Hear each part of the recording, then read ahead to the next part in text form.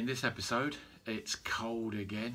It's always cold in winter, uh, especially in my garage.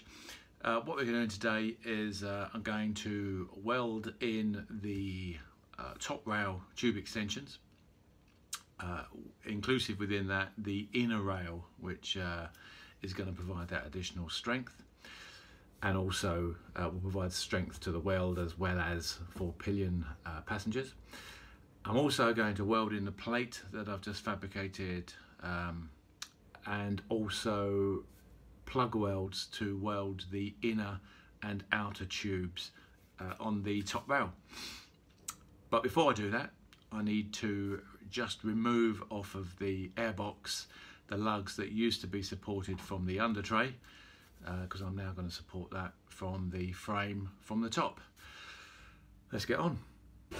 Right, just going to chop these lugs off.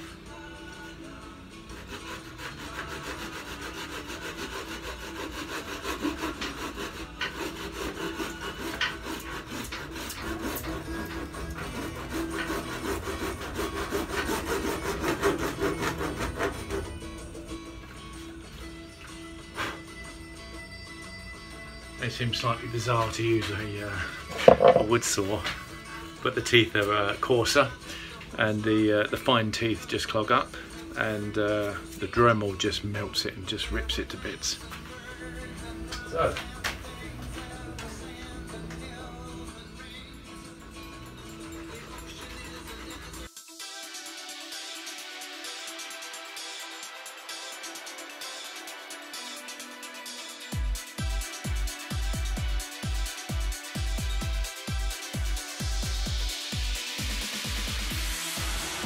Got to mention, of course, it's the airbox, it's plastic, not metal.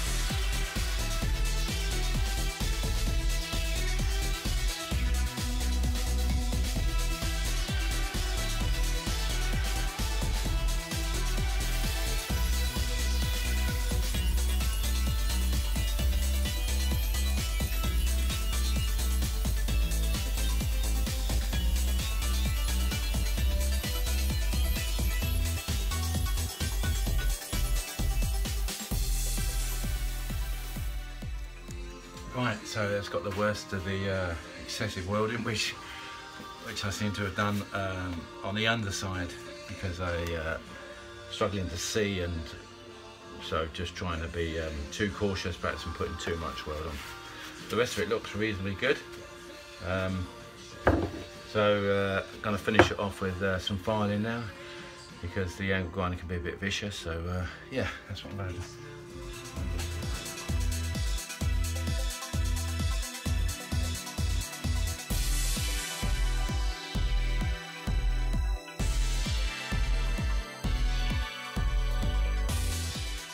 So I've uh, cleaned up the uh, the welds and it, it's not really structural but um, and it's my first weld that said uh, I'm reasonably pleased with it uh, so let's have a flip can I flip the camera? There's one or two small marks. This is the uh, this is the join here but generally speaking very pleased with the weld a couple of little marks there. Um, it is metal under there it's just a little bit uh, darker so not quite as uh, as much metal as I liked. But uh, all round speaking yeah pretty impressed with that. Uh, not bad for a first uh, attempt at uh, welding. So now I'm just going to put the plate in here. I've just got to trim it up because the there's a slight taper on there's a slight taper on this this pair of rails. They're not quite parallel.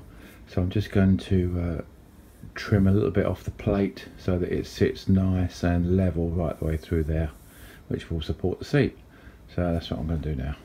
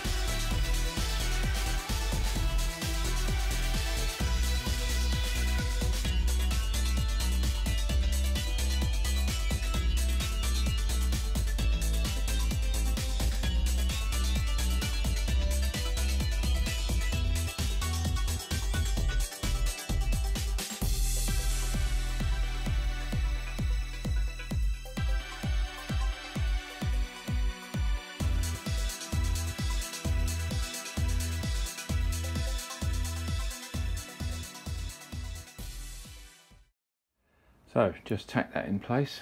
Um, this is going to form the uh, support for the seat and also the under tray from uh, all the debris coming up from the road. So now to clean that off and uh, and then start welding proper. Be a nice height. Maybe see uh, see how good I can actually weld.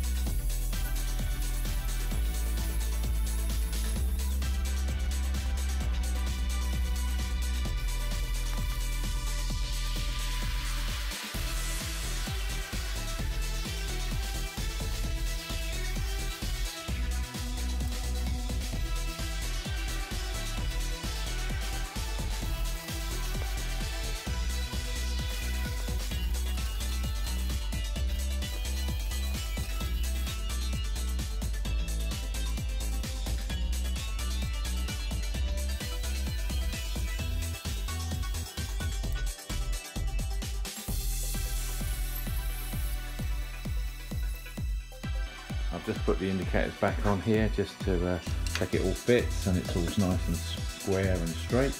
Uh, looks good. Uh, welding, yeah, not bad. Um, um, if this ever gets onto uh, YouTube, I'm sure someone's going to say, oh, that's ugly and hideous, but it's all going to be covered up by the seat. Uh, it's really strong. I've tried, uh, I've tested it. It's uh, it's very strong um, and not bad for a first attempt at welding. Um, so yeah, reasonably pleased with that, and uh, time to crack on.